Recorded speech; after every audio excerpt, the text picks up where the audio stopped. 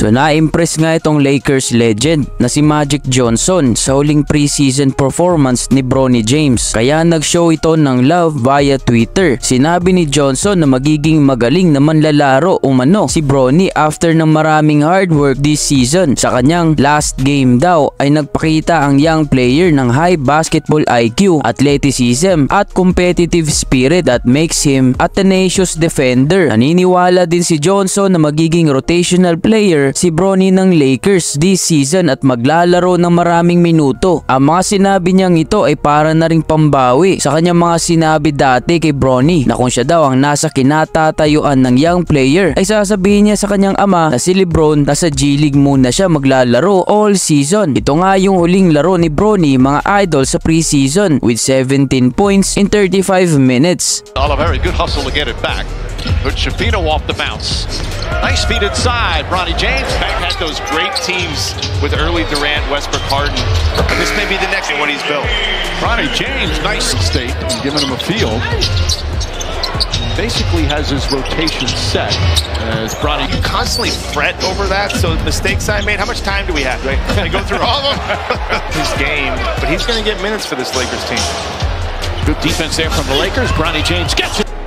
Example here of what may be the future of him. This is like this is not an easy finish right there. Just He picked up Oliveri. Lots it up and Bronny James will they'll be that bond for the rest of their lives. Nice cut.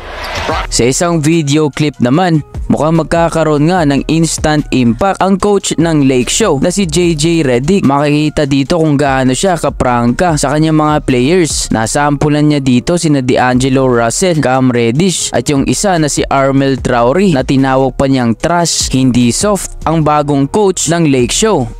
Max, you good with that? What I said? Just rec- recognizing like opportunities to make the game easy. Yeah, make the game easy. D'Lo, get there, D'Lo. Good talk, good talk, good talk. Good under, Bron. Good under, Bron. Good, Bronny. Good, Bronny. Good, D'Lo.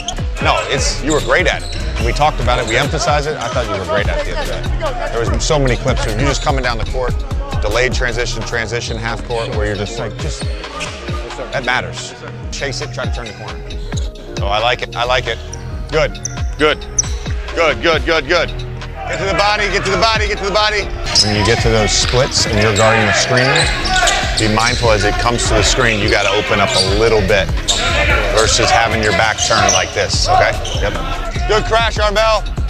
Good, Jackson. Samantala, ipinakita na din ng footage sa practice ng Lake Show kung saan tinirahan ni Bronny ang kanyang ama ng dalawang beses sa 3-point area right between the eye. Sobrang priceless siguro sa pakiramdam na makalaro ang iyong anak sa practice game at sa pinakamalaking liga. Anong komento nyo dito mga idol? You know, everybody was talking smack, you know, and Bron, Bronny came back down, hit another three, and Bron wanted the ball. So you can see, like, even though they weren't matched up, the competition is there. And that's what we love to see.